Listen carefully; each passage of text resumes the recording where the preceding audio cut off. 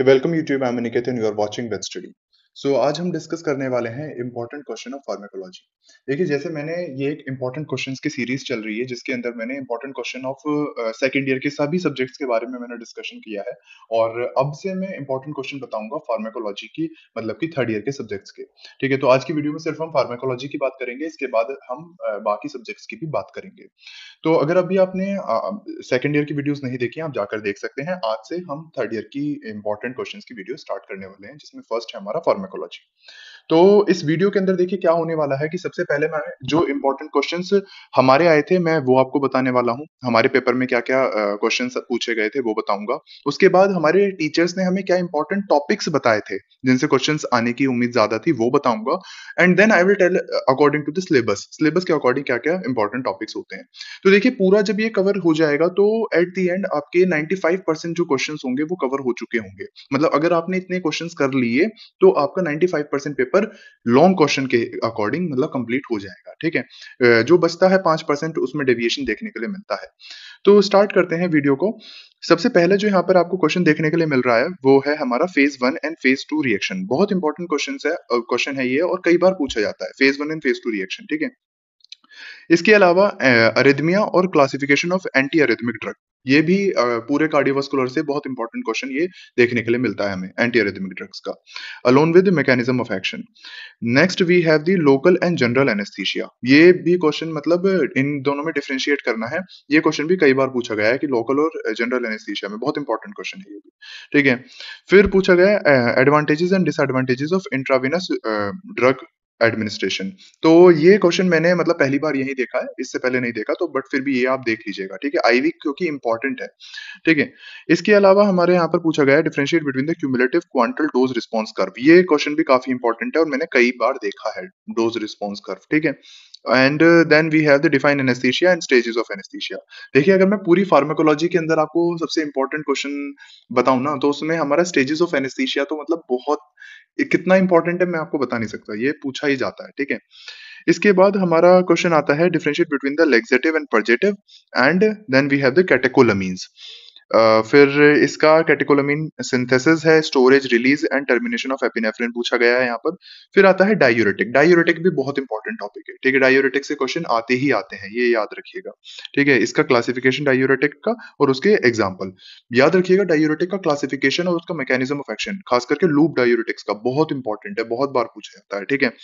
इसके अलावा expectorant and antitussive drugs respiratory में ये दो बहुत इंपॉर्टेंट है एक्सपेक्टोरेंट एंड एंटीट्यूसिव इसके बाद हमारा शॉर्ट नोट का आता है क्वेश्चन तो शॉर्ट नोट में हमारा बायोलिबिलिटी और उसकी application drug receptor theory and mechanism of action of benzodiazepine diazepine वाला ये बहुत बेंजोडाइजेपिन वाला बहुत इंपॉर्टेंट है, इसका मैकेनिज्म ऑफ़ एक्शन ठीक है?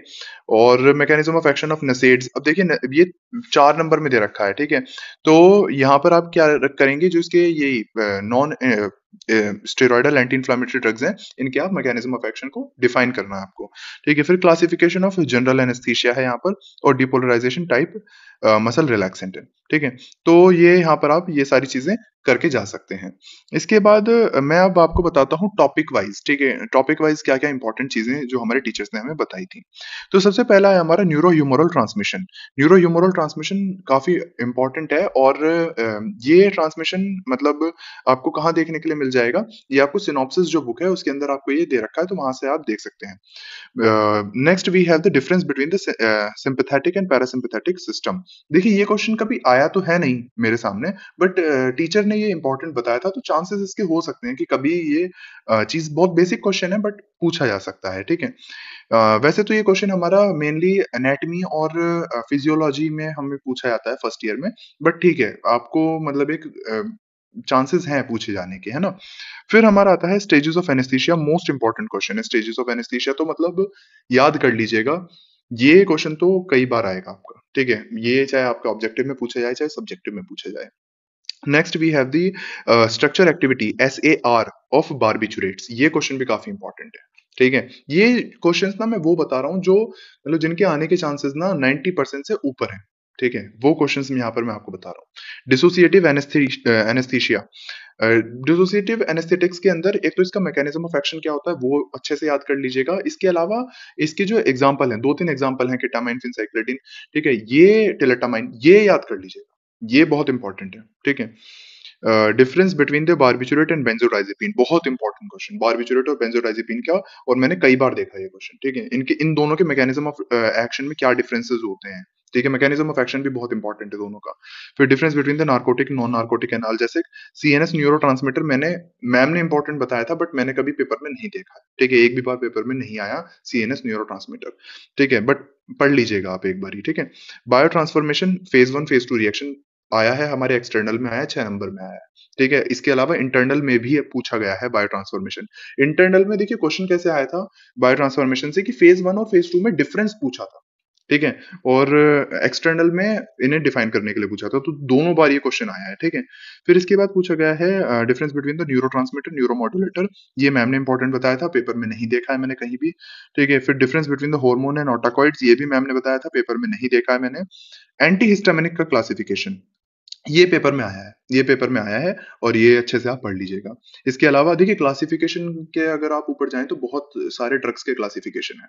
बट जो जो मैं बता रहा हूँ, वो क्लासिफिकेशन आप बिल्कुल थोरोली पढ़ लीजिए, अच्छे से याद कर लीजिए, ठीक है? जो बाकी हैं, उन्हें थोड़ा सा ऊपर से देख लीजिएगा, ठीक है? बट याद हर चीज़ करके जाइएगा, कोशिश कीजिएगा at least classification of opioid analgesic and then we have the classification most important classification of pharmacology is the classification of NSAIDs most important classification है, ठीक है? तो ये बहुत अच्छे से याद करके जाइएगा। क्लासिफिकेशन ऑफ़ लोकल एनेस्थीशिया ज़्यादा इंपॉर्टेंट नहीं है बट हाँ एक बार देख क्योंकि बहुत ईजी है, ठीक है? Classification of GA general anaesthetics ये इंपॉर्टेंट है क्लासिफिकेशन ऑफ़ जनरल एनेस्थेटिक्स फिर उसके बाद फार्माकोकाइनेटिक मॉडल जिसके अंदर अभी हमने देखा compartmental non compartmental and physiological model ये एक आपको ओवरव्यू पता होना चाहिए. And difference between the acetylcholinesterase and butyl butyrylcholinesterase ये दोनों में डिफरेंस ये मतलब दो दो, चार चार पॉइंट आपको पता होनी चाहिए, ठीक है? Difference between the agonist antagonist क्योंकि हमारा जो पेपर हुआ था ना, उसके अंदर डिफरेंसेस ही पूछे गए थे. ठीक है? डिफरेंसेस ही पूछे गए थे तो इसलिए मैम ने उसी के अकॉर्डिंग चीज़ें बताई थी। Competitive antagonism non competitive antagonism में कैटाकोलामीन नॉन कैटाकोलामीन में क्या डिफरेंस है? ठीक है और क्लासिफिकेशन ऑफ़ एक्सपेक्टोरेंट एंटीट्यूसिव्स अभी बता दिया मैंने आपको पेपर के अंदर आया था हमारे एक्सटर्नल के अंदर दोनों थे एक्सपेक्टोरेंट और एंटीट्यूसिव ठीक है classification of laxative and cathartic ये क्वेश्चन भी आया हुआ है हमारे इंटरनल के अंदर आया हुआ है ये क्वेश्चन लेग्जेटिव एंड कैटार्टिक का क्लासिफिकेशन तो जो जो क्लासिफिकेशन मैं बताता जा रहा हूँ ना, ये क्लासिफिकेशन आप याद करते जाइएगा, क्योंकि ये पूछे जाते हैं। ठीक है, फिर general principle and diagnosis of the treatment of poisoning ये क्वेश्चन भी हमारा आया हुआ है इंटरनल के अंदर। जनरल ट्रीटमेंट ये पॉइजनिंग का बहुत इंपॉर्टेंट क्वेश्चन है। मतलब टॉक्सिकोलॉजी से ये एक मात्र ऐसा क्वेश्चन है लॉन्ग में बहुत इंपॉर्टेंट पूछा जाता है। ठीक है classification of anti microbial drug ये क्वेश्चन भी आया हुआ है। ठीक है मतलब ये वो क्वेश्चंस हैं जो पेपर के अंदर ऑलरेडी आए हुए हैं। मैं आपको वो क्वेश्चन बता रहा हूँ। ऐसा नहीं कि मैं अपनी तरफ़ से बता रहा हूँ। जो चीज़ें आई हुई हैं वो ही मैं आपको बता रहा हूँ, ठीक है? Classification of antimicrobial drug on the basis of mechanism of action classification of diuretics and classification of anti drug जो अभी मैंने आपको बताया डायूरेटिक में बता चुका हूँ, वो भी आया हुआ है एंटी ड्रग भी आया हुआ है cardiac glycoside mechanism of action and anthelmintic देखिए ये जो बाकी दे रखे हैं एंटी प्रोटोजोल एंटी हेलमेंथिक इनमें से ना मेनली एंटी हेलमेंथिक ज़्यादा इंपॉर्टेंट है, ठीक है? तो वो अच्छे से पढ़ लीजिएगा और उसमें भी mechanism of action of ivermectin ठीक है? ये बहुत इंपॉर्टेंट क्वेश्चन है। एक ये जो मतलब क्वेश्चन बनता है ऑब्जेक्टिव के अंदर बहुत कि जो आइवरमेक्टिन है, ये हमारा एक्टोपैरासाइट पर काम करती है और सिस्टोड्स पर काम करती है, ठीक है? तो ये ये भी आप चीज़ देख के जाइएगा, ठीक है? और आइवरमेक्टिन हम कोली ब्रीड के अंदर कोट्रा इंडिकेटेड होती है डॉग्स की कोली ब्रीड के अंदर, है ना? तो ये चीज़ें आप देख के जाइएगा, ठीक है? क्लासिफिकेशन ऑफ़ सेफेलोस्पोरिन भी हमारा पेपर के अंदर पूछा गया है।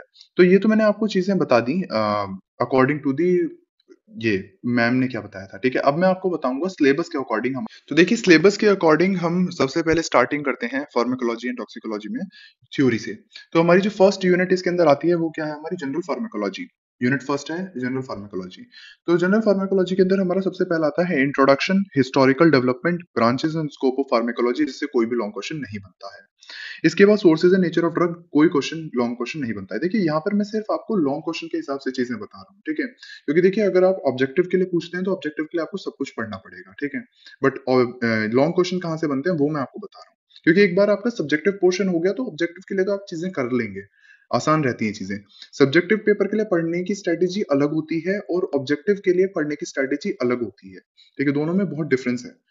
तो बताऊँगा मैं किसी वीडियो के अंदर कि क्या स्ट्रेटेजी मैं फॉलो करता हूँ। मैं ये नहीं कह रहा कि वो आई थिंक बेस्ट स्ट्रेटेजी है बट मैं अपनी जो मतलब फॉलो करता हूँ वो मैं आपको बता सकता हूँ। ठीक है?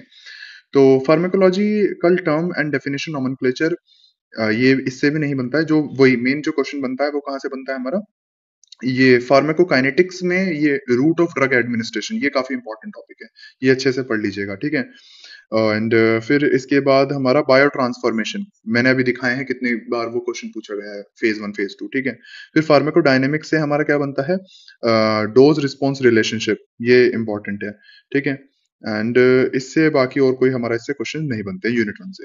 फिर आती है यूनिट टू यूनिट टू है हमारा drug acting on the autonomic nervous system इसमें हमारा क्या है? न्यूरो ह्यूमरल ट्रांसमिशन इससे हमारा लॉन्ग क्वेश्चन बनता है। ठीक है? इसके अलावा हमारा pharmacology of neuro transmitter neuro transmitter एक बार मैम ने इंपॉर्टेंट बताया था बट एक बार आप देख लीजिएगा। ठीक है? Adrenoceptor agonist antagonist adrenergic neuro neuron blocker cholinergic agonist antagonist classification इनके ना बहुत इंपॉर्टेंट है याद रखिएगा। एएनएस के अंदर पूरे एएनएस जो है, इसके अंदर ये जो क्लासिफिकेशन है पैरासिम्पेथोमाइमेटिक पैरासिम्पेथोलाइटिक सिम्पेथोमाइमेटिक और सिम्पेथोलाइटिक ये चारों के जो क्लासिफिकेशन है ना, ये बहुत इंपॉर्टेंट है। ठीक है? बहुत ज़्यादा इंपॉर्टेंट है। आई नो ये कंफ्यूजिंग है बट इंपॉर्टेंट भी उतनी सिंपेथोमाइमेटिक है, बहुत ज़्यादा इंपॉर्टेंट ठीक है? सिंपेथो ये लाइटिक ये ये बहुत अच्छे से पढ़ के जाइएगा, ठीक है? फिर ऑटाकॉइड ऑटाकॉइड्स में हमारा क्या आएगा? सिर्फ़ ये जो हिस्टामिन एंटी हिस्टामिनिक एजेंट है ना, ये अच्छे से पढ़ लीजिएगा। ठीक है, ये ज़्यादातर पूछे जाते हैं एंटी हिस्टामिनिक एजेंट बाकी तो ऐसा कोई, मैं लॉन्ग के हिसाब से बता रहा हूँ चीज़ें आपको, ठीक है? ऐसा कोई नहीं पूछा जाता है बाकी। फिर हमारी यूनिट थर्ड आती है drugs acting on the central nervous system सी आ जाता है। तो सीएनएस में हमारा क्या है? जो क्लासिफिकेशन है, वो हमारा जो जनरल एनेस्थीसिया है वो पूछा जाता है मेनली ठीक है? And history and stages of stages of general anaesthesia ये पूछा जाता है। uh, इसके बाद inhalant intravenous and dissociative dissociative ज़्यादा पूछा जाता है ठीक है? हिप्नोटिक सेडेटिव्स इन दोनों में मतलब एक बार डिफरेंस इनके डेफिनेशंस में डिफरेंसेस देख लीजिएगा। Psycho tropic drug anti convulsant anti convulsant का क्लासिफिकेशन वैसे पूछा तो नहीं गया है हमसे कभी बट हाँ इंपॉर्टेंट बताते हैं। ठीक है तो एक बार देख लीजिएगा एंटी कन्वल्सेंट के अंदर कौन कौन सी कैटेगरीज आती हैं ड्रग की। फिर उसके बाद ओपियोड एनाल्जेसिक ये मैम ने इंपॉर्टेंट बताया था, और नसेट्स तो इंपॉर्टेंट है ही। ठीक है नसेट्स का तो मतलब कोई वो है ही नहीं। Non steroidal anti inflammatory drug बहुत इंपॉर्टेंट है। इसका मैकेनिज्म ऑफ़ एक्शन बहुत इंपॉर्टेंट है, इसका क्लासिफिकेशन बहुत इंपॉर्टेंट है। तो अच्छे से पढ़ के जाइएगा इसको। बार बार बोल रहा हूँ। Analeptic and other C N S stimulant इसमें एग्ज़ाम्पल देख लीजिएगा सिर्फ़। ठीक है यूथनाइजिंग एजेंट कभी नहीं पूछा जाता है। तो जो इससे हमारी इंपॉर्टेंट चीज़ें थी, वो मैंने आपको बता दी। Next we have drugs acting on the different body system अब इसमें हमारा सबसे पहला आता है डाइजेस्टिव सिस्टम तो डाइजेस्टिव सिस्टम के अंदर हमारा जो इंपॉर्टेंट ड्रग्स हैं, वो क्या क्या हैं जो लॉन्ग में पूछे जाते हैं, वो हमारा परजेटिव पूछा जाता है, ठीक है? एंटीमेटिक मैंने कहीं नहीं देखा है एंड परजेटिव ही देखे जाते हैं लेग्जेटिव परजेटिव भी पूछे जाते हैं। तो डाइजेस्टिव से एक क्वेश्चन बनता है लॉन्ग में लेग्जेटिव एंड परजेटिव ठीक है, बनने के लिए तो देखिए कुछ भी बन सकता है बट जो मैं जनरली मैंने क्वेश्चंस देखे हैं, पूरे साल में मैंने देखे हैं, वो मैं आपको बता रहा हूँ, ठीक है? प्रोकाइनेटिक का काम क्या होता है, ये पूछा जाता है, ठीक है? बाकी इनके दो दो एग्ज़ाम्पल तो हर किसी के आपको एटलीस्ट पता होने चाहिए, ठीक है? तो ये आपको डाइजेस्टिव फार्मेकोलॉजी में बता दिया मैंने। इसके बाद कार्डियोवास्कुलर सिस्टम की फार्मेकोलॉजी इसमें हमारा क्या है? इसमें हमारा एंटी अरिथमिक ड्रग मैंने आपको बता दिए, बहुत इंपॉर्टेंट है एंटी अरिथमिक ड्रग ठीक है? एंड बस इससे यही हमारा ये होता है और बाकी इसमें एक बार कार्डियक यही ग्लाइकोसाइड्स और इनका मैकेनिज्म ऑफ़ एक्शन ये चीज़ें देख लीजिएगा अच्छे से, है ना? फिर रेस्पिरेटरी सिस्टम में हमारा क्या है? एक्सपेक्टोरेंट और एंटीट्यूसिव इसका पूछा गया है पेपर में, ठीक है? तो बहुत इंपॉर्टेंट है, बाकी और कुछ नहीं पूछा था। अब आप देख रहे हैं, एक चीज़ देख रहे हैं कि हर सिस्टम से एक ही टाइप के ड्रग की इंपॉर्टेंस है। जैसे कि डाइजेस्टिव से मैंने क्या बताया? लेग्जेटिव पॉजिटिव यहाँ से मैंने क्या बताया? कार्डियोवास्कुलर से एंटी अरिथमिक ड्रग रेस्पिरेटरी से मैंने क्या बताया? एक्सपेक्टोरेंट एंड एंटीट्यूसिव्स ठीक है? यूरोजेनाइटल से क्या होता है? हमारा डायूरेटिक्स सिर्फ़ डायूरेटिक्स तो जो एक एक स्पेसिफिक चीज़ें हैं ना, वो वो क्लासिफिकेशन याद कर लीजिए एटलीस्ट हर एक सिस्टम का। तो आपकी चीज़ें आसान हो जाएँगी। हर किसी का तो याद नहीं कर सकते। मतलब ये चीज़ पॉसिबल शायद मतलब कोई कर ले बट मुझे लगता है थोड़ा टफ होता है हर चीज़ का याद करना ना। तो बट बाकी जैसे इकोबोलिक्स है टोकोलाइटिक्स है इनके आप एग्ज़ाम्पल याद कर लीजिएगा मैं जो चीज़ें बता रहा हूँ एक एवरेज स्टूडेंट के अकॉर्डिंग बता रहा हूँ आपको ठीक है फिर इसमें फ्लूड थेरेपी आपकी यहाँ पर इंपॉर्टेंट नहीं है, वो मेडिसिन में आती है, मेडिसिन सर्जरी में पूछी जाती है, ठीक है? फिर आती है आपकी यूनिट फाइव जो कि कीमोथेरेपी। तो वेटनरी कीमोथेरेपी के अंदर आपका क्या है? Classification of antimicrobial according to the mechanism of action ये बहुत इंपॉर्टेंट है क्योंकि का, काफ़ी मतलब उसके बेसिस हैं क्लासिफिकेशन के ना तो मैकेनिज्म ऑफ़ एक्शन के अकॉर्डिंग काफ़ी इंपॉर्टेंट है। फिर जनरल प्रिंसिपल है एंटीमाइक्रोबियल रेजिस्टेंस है। एंटीमाइक्रोबियल रेजिस्टेंस एक इंपॉर्टेंट और बर्निंग टॉपिक है। तो ये इस पे शॉर्ट नोट आ सकता है तो वो पूछ ली जा सकता है पेपर के अंदर। वो अच्छे से पढ़ लीजिएगा। सल्फोनामाइड डायमाइनो पायरेमिडीन्स पेनिसिलिन पेनिसिलिन का क्लासिफिकेशन देख लीजिएगा अच्छे से। पेनिसिलिन सिफेलोस्पोरिन ठीक है? फिर ये बीटा लैक्टम भी इंपॉर्टेंट है, ठीक है? ये जो बीटा लैक्टम इनिबिटर्स हैं, ठीक है, ये अच्छे से देख लीजिएगा। सल्बैक्टम क्लेविनिक एसिड ये चीज़ें मतलब थोड़ी सी ना इंपॉर्टेंट है। और बाकी देखिए जो टेट्रासाइक्लिन पेनिसिलिन अमाइनोग्लाइकोसाइड्स और बीटा मतलब यही beta lactam other beta lactam beta lactam में यही सब आ गए ना पेनिसिलिन से तो ये इंपॉर्टेंट है क्लासिफिकेशन है ना? टेट्रासाइक्लिन भी इंपॉर्टेंट है। फिर मैक्रोलिड क्विनोलॉन्स फ्लोरोक्विनोलॉन जब मैं कीमोथेरेपी की बात करता हूँ ना तो देखिए एंटीबायोटिक में मैकेनिज्म ऑफ़ एक्शन और क्लासिफिकेशन ये किसी ना किसी फॉर्म में आपसे पूछ लिया जाएगा। लॉन्ग क्वेश्चन में आए या ऑब्जेक्टिव में आए। तो मेरी रिकमेंडेशन कीमोथेरेपी में ये रहेगी कि आप हर एक ड्रग का क्लासिफिकेशन मतलब जैसे मैक्रोलिड है कुनोलॉन्स हैं क्लासिफिकेशन याद करें और इसके साथ साथ आप उनका मैकेनिज्म ऑफ़ एक्शन भी याद करें। मैकेनिज्म ऑफ़ एक्शन भी इंपॉर्टेंट है इसके अंदर, ठीक है? फिर, क्योंकि मोस्ट ऑफ़ द टाइम हम कीमोथेरेपी ही यूज़ करते हैं, ठीक है? एंटी ट्यूबरकुलर ड्रग का क्लासिफिकेशन भी एक इंपॉर्टेंट टॉपिक है। एंटी फंगल हमारा पेपर के अंदर आया है एंटी फंगल याद रखिएगा एंटी फंगल बहुत इंपॉर्टेंट टॉपिक है। मैंने मतलब अगर दस पेपर देखे होंगे ना तो दस में से पाँच से छह पेपर के अंदर एंटी फंगल पूछा गया तो आप देख सकते हैं कि ऑलमोस्ट वही बहुत ज़्यादा चांसेस हो गए हैं इसके, ठीक है, आने के। एंटीवायरल मैंने नहीं देखा ज़्यादा, ठीक है, क्योंकि एंटीवायरल ड्रग ज़्यादा यूज़ भी नहीं होती है, ठीक है। एंटी हेलमेंथिक इंपॉर्टेंट है एंटी प्रोटोजोल नहीं देखा है एक्टोपेरस अब देखिए, जो मैं कह रहा हूँ ना, नहीं देखा इट डजंट मीन कि वो पेपर में आ नहीं सकता, ठीक है। मैं सिर्फ़ अपने एक साल के एक्सपीरियंस पर बता रहा हूँ कि मैंने क्या चीज़ें नोटिस करी इंपॉर्टेंस की, ठीक है?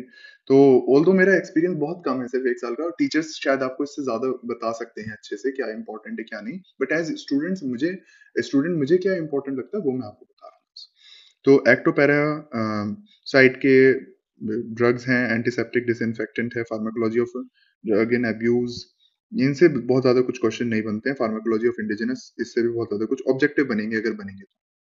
फिर आपकी आती है last unit that is veterinary toxicology तो देखिए वेटनरी टॉक्सिकोलॉजी के अंदर वही जो मैंने आपको बताया जनरल टॉक्सिकोलॉजी पहला इंपॉर्टेंट टॉपिक है, जिसके अंदर डेफिनेशन है history of toxicology fundamental and scope of toxicology source and classification of toxicant factor modifying toxicity ये पाँचों में से कोई भी लॉन्ग क्वेश्चन नहीं बनता। इसमें से जो लॉन्ग क्वेश्चन बनता है, वो है general approach to to diagnosis and treatment of poisoning ये इंपॉर्टेंट इससे लॉन्ग क्वेश्चन बनता है। ठीक है? फिर आता है हमारा टॉक्सिसिटी और different metal and non metal की। तो इसमें हमारी क्या क्या टॉक्सिसिटी इंपॉर्टेंट है? देने के लिए तो बहुत सारी दे रखी है बट इंपॉर्टेंट क्या क्या है? आर्सेनिक की है लेड की है, ठीक है? नाइट्रेट की है नाइट्रेट नाइट्राइट और यूरिया की है। नाइट्रेट नाइट्राइट की ट्रीटमेंट और ये साइनाइड साइनाइड का ट्रीटमेंट ठीक है? ये बहुत इंपॉर्टेंट है। पूछा जाता है कई बार पूछा जाता है ठीक है पेपर के अंदर।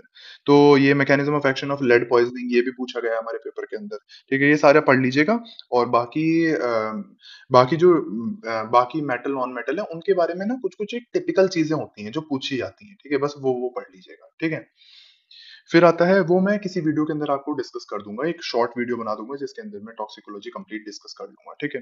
फिर आता है आपका पॉइजनिंग प्लांट जिसके अंदर हमारा पॉइजनिंग में भी ना सबसे ज़्यादा इंपॉर्टेंट हमारी ये साइनोजेनेटिक प्लांट साइनाइड पॉइजनिंग ठीक है? बाकी सब हमारे शॉर्ट में पूछे जाते हैं। ज़्यादा डिटेल में नहीं पूछे जाते। इसमें लेंटाना कैमेरा हमारा फोटोसेंसिटाइजेशन करता है सेकेंडरी फोटोसेंसिटाइजेशन ये इंपॉर्टेंट है, ये पूछा जाता है। ठीक है plant causing photosensitization lantana camara याद रखिएगा।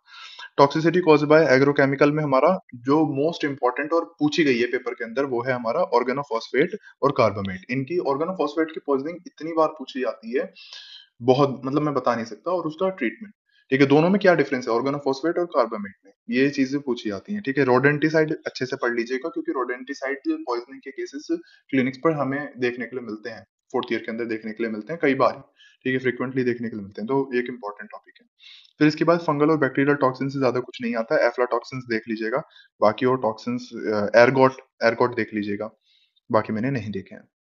इसके अलावा एक जो क्वेश्चन हमारा एक्सटर्नल में आया था वो था स्नेक स्नेक मतलब अगर बाइट हो गई है, तो उसमें आप फ़र्स्ट एड क्या देंगे? ठीक है? तो ये क्वेश्चन हमारा आया था, तो ये आप क्वेश्चन क्वेश्चन प्रिपेयर कर लेना और बाकी हमारे डिफरेंट जो मतलब स्नेक है उनकी वेनम है, न्यूरोटॉक्सिक है, तो वो सब चीज़ें आप एक बार मतलब ब्रीफली पढ़ लीजिएगा।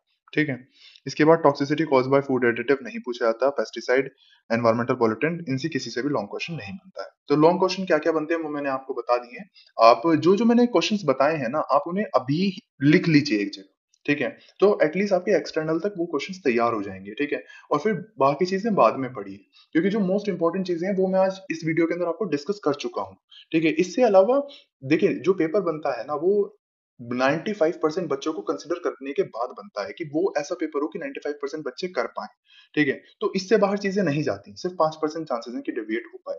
तो जो-जो मैंने चीज़ें इंपॉर्टेंट बताई हैं, उन्हें आप लॉन्ग क्वेश्चन के फॉर्म में लिख लीजिए और अभी से आप रख लीजिए। Thanks for watching if you like then please press thumbs up and subscribe to study.